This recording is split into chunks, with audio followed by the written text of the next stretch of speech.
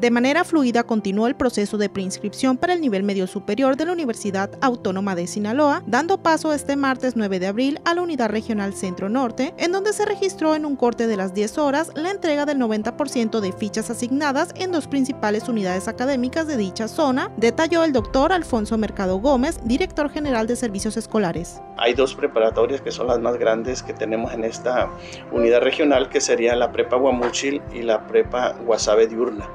Ahorita te menciono que estas dos unidades académicas ya están al 90% de las fichas asignadas y estamos seguros que en el transcurso del día de hoy o a más tardar para mediodía estas fichas van a estar agotadas. Aseguró que el proceso es amigable, pero de igual manera se cuenta con una mesa de ayuda vía chat mediante WhatsApp, en donde 10 operadores se encuentran atendiendo en tiempo real las dudas que surjan en dicho proceso de admisión. Así también indicó que las plataformas permanecerán abiertas hasta el día 10 de mayo, que es cuando finaliza dicho proceso.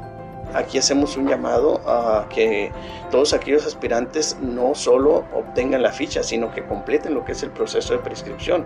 Es decir, una vez obtenida la ficha, una vez que le llegue el mensaje a su teléfono o, su, o al correo electrónico, que la descarguen, tienen que entrar a la plataforma de admisión .was.edu.mx para subir la documentación que la plataforma le esté solicitando. Culminó mencionando que este miércoles 10 de abril se abrirá el portal para la Unidad Regional Norte, finalizando el día jueves 11 de abril con la zona sur. Universidad Autónoma de Sinaloa.